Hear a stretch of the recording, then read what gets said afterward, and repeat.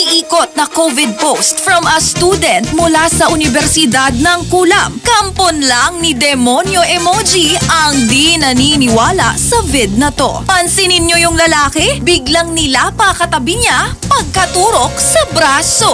Oh, oh, oh, oh, oh.